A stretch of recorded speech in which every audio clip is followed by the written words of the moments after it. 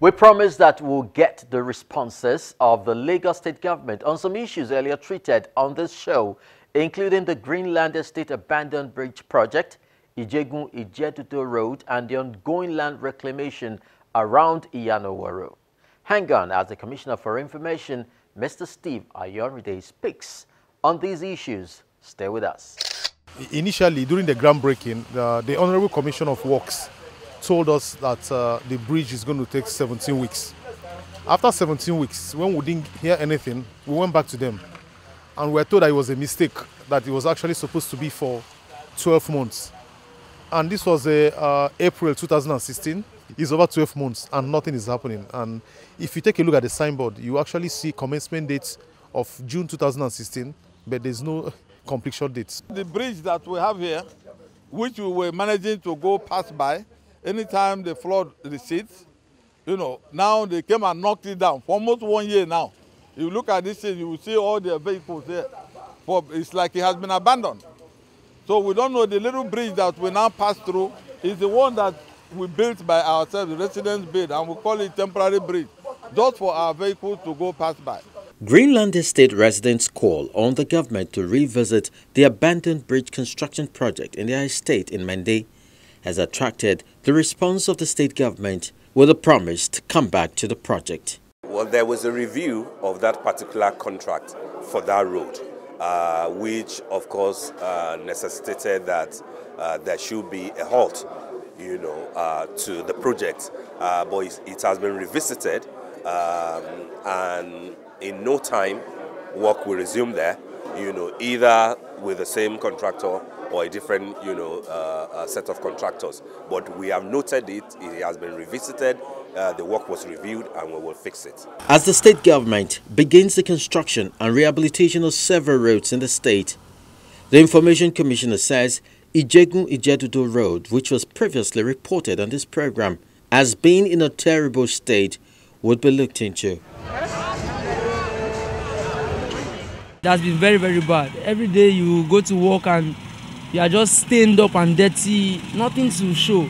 It has been bad, I'm telling you, very bad, very, very bad. Sometimes if you come here in the evening, there used to be hold up from this place to Ijebu. This also, I believe is surely affecting this station and some other around this place. Where you just help our appeal to the government. They are trying their best, oh, but the best may not be enough. Appeal to them, at least people here are paying tax including me myself. There are a number of roads that, that are bad that people are talking about. Regrettably, we can't fix everything at the same time. Uh, you heard what His Excellency the Governor said at the last town hall meeting.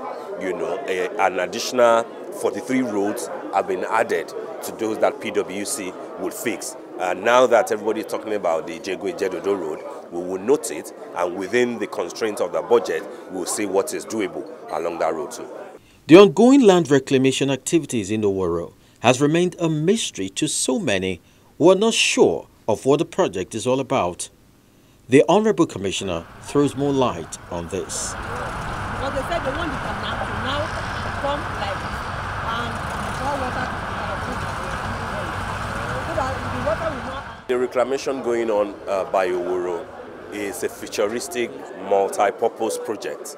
Uh, what you will have there in a couple of years uh, will be boutique hotels, will be bus terminals, will be um, a jetty.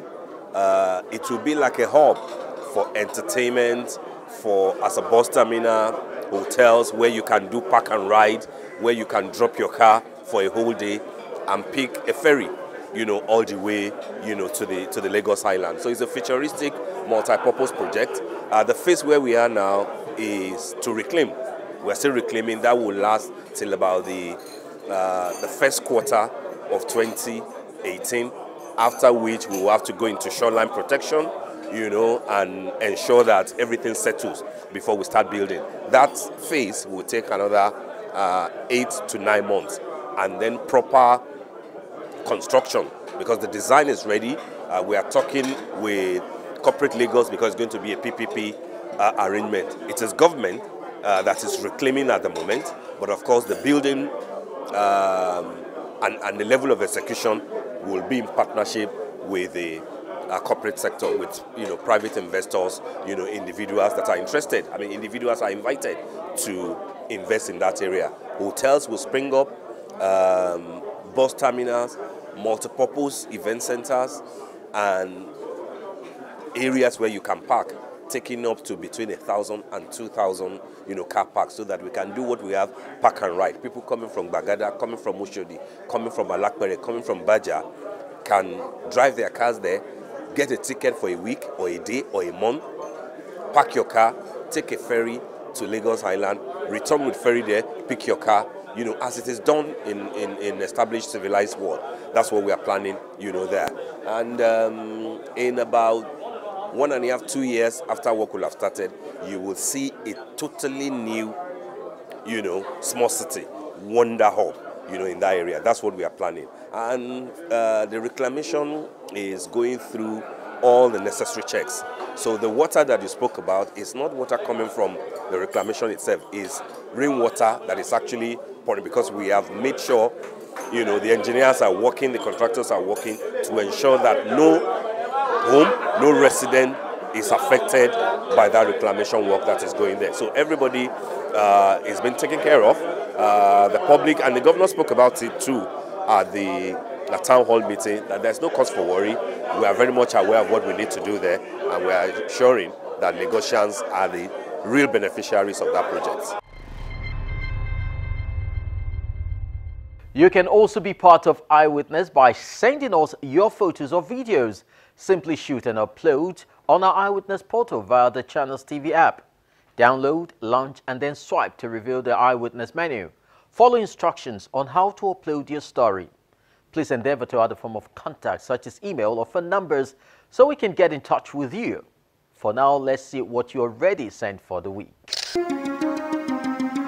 Here are pictures that you sent into our Eyewitness portal beginning with this scenic aerial shot of Sabon Gari in Kaduna State.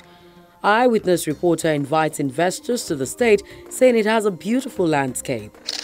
Next comes this set of images from Calabar Biase Federal Highway in Cross River State, showing an eroding infrastructure. Eyewitness reporter expresses worry over the danger this poses to the unsuspecting motorists and those using it for the first time. Still in Lagos is this picture of a bad road from Coconut axis of Apapa Oshodi Expressway, showing tankers blocking one lane and trucks carrying containers on the other. Eyewitness reporter says the road has become almost impassable. He's calling for government's assistance. We have this next image from Akure, the Ondo State capital, showing what our eyewitness reporter says is a condition of the Goba Road, especially on a rainy day. He laments the trouble motorists go through and is calling on the government for immediate intervention. This image is from Eket area in Akwa Ibom State, showing an overloaded vehicle on Marina Road. Eyewitness reporter wants the Federal Road Safety Corps to intensify their efforts towards safety awareness. Similar photo comes from Bida in Niger State, showing a dangerously overloaded vehicle. Eyewitness reporter wants men of the Federal Road Safety Corps to stop this act that is again finding its way back to the roads. Still on dangerous overload is this image of men sitting on a moving vehicle on the highway along Airport Road in Abuja, the Federal Capital Territory. According to our eyewitness, whatever happens to these people will affect other road users and they should therefore be checked. This image from Ozoro Road in Delta State is showing a shot of a fallen trailer filled with cows Eyewitness reporter calls for the removal of the vehicle, which he says is causing obstruction on that road. Our final picture is from Anyigba in Kogi State, showing a fallen electricity pole. Eyewitness reporter says that it is dangerous and is already affecting the electricity in the area. He wants it fixed.